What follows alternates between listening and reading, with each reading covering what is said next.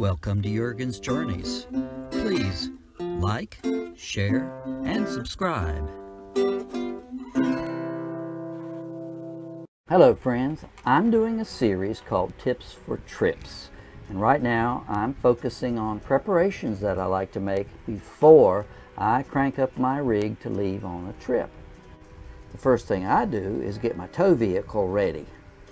And uh, you can check out how I do that on the video link that I put up here.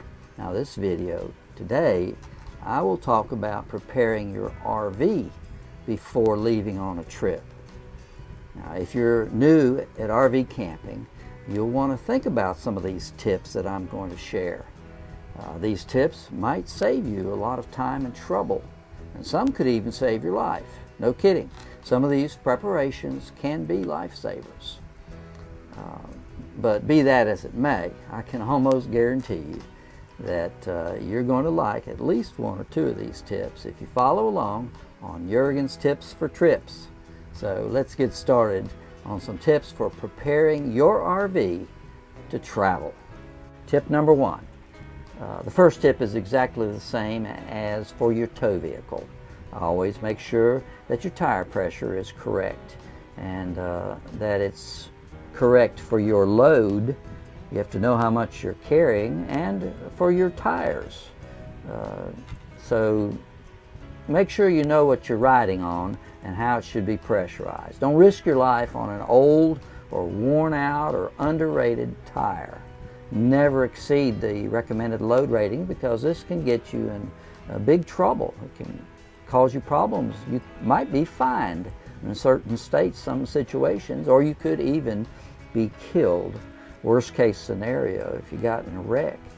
Uh, but at any rate, a blowout on your rig can cause major damage to your camper because usually the wheel wells on the camper are very flimsy and often they're located under some very expensive systems like a slide or a wiring harness or some other kind of hard to repair component. Now there's no shortage of testimonies to that fact on YouTube by those who have had blowouts.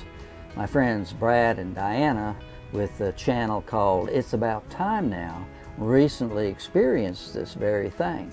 And here's a link to their video on that experience.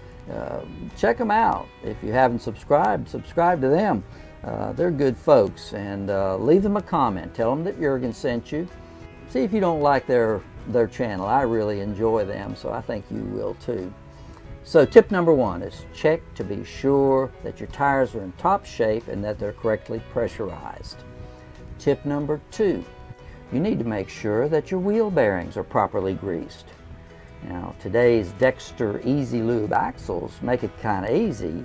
They say you can just shoot uh, some grease in there, every 5,000 miles or so, and um, that's all you need to do. Now some mechanics don't agree with that. They say you've got to pull the hub, clean the bearings, repack them, and uh, do all that work, uh, you know, every 12,000 miles or so. Uh, whatever your manufacturer recommends for your axles. Um, but I think it depends on where you travel.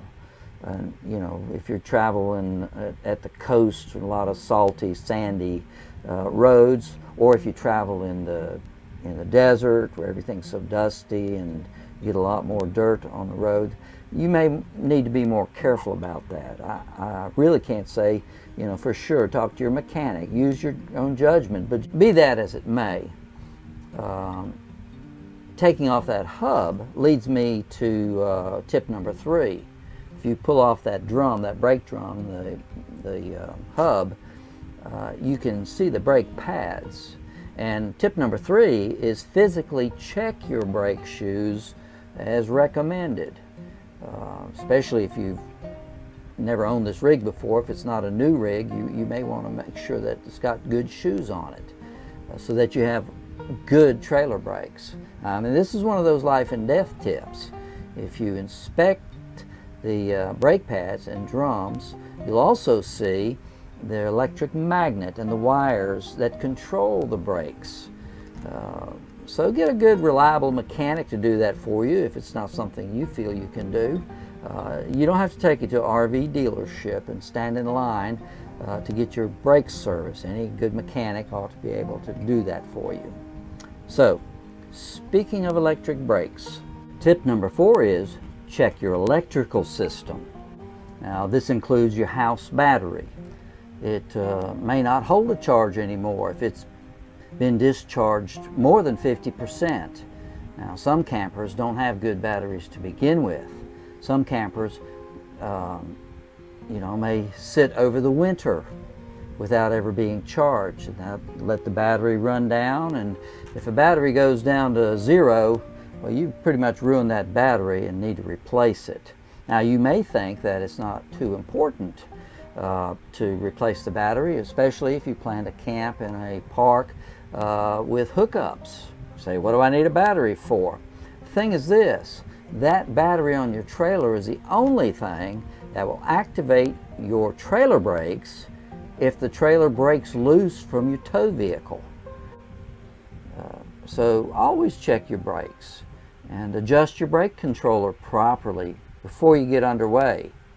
Nothing, not even your tires, are more important than your braking system, which is which has several uh, electrical components.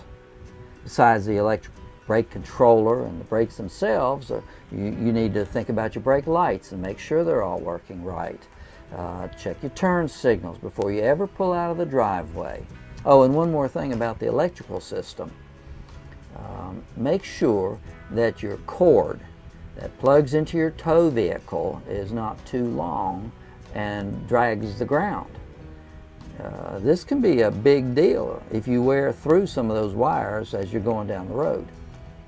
Tip number five, the last one I'm going to give you today, uh, check your water system. Now, the water system uh, needs to be checked thoroughly before you leave home. At the beginning of the season, you know, before a long trip, just uh, make sure that uh, you put water in it, uh, pressurize the system uh, so you can check for leaks, see if the pump is still working, make sure the drain valves are closed because you've got those uh, the freshwater drain and your system drains underneath the trailer.